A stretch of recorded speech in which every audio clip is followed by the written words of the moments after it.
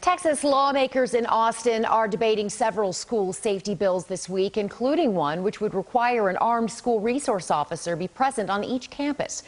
Today, a group of local school district leaders are attending a school safety conference in Richardson. That's where we find our Nick Starling, who's been listening in. So, Nick, what can you tell us? Hey, Karen, the goal of this conference is to share ideas with one another to keep students and staff safe, especially in the world we're living in today that they did was plan to. This is all taking place at the Region 10 Educational Service Center, which covers dozens of North Texas school districts.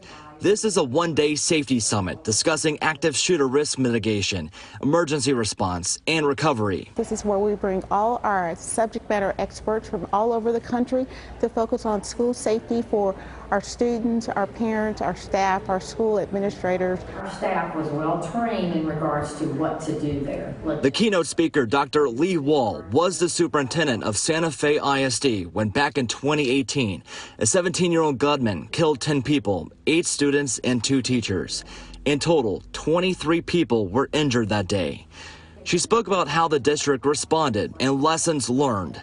Today, they doubled their officers on campus, hardened security with cameras and locks, and why collaboration is important. Unfortunately, um, as you see, almost on a daily basis, which is which is horrible. The the shootings in some form or fashion are continuing.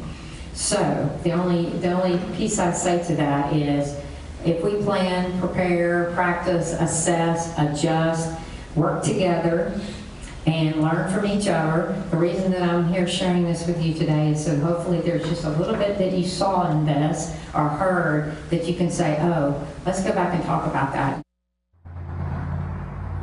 There are several breakout sessions later on today, one including pending legislation when it comes to school security. This conference ends at 4 o'clock this afternoon. Live in Richardson, Nick Starling, CBS News, Texas. Nick, thank you.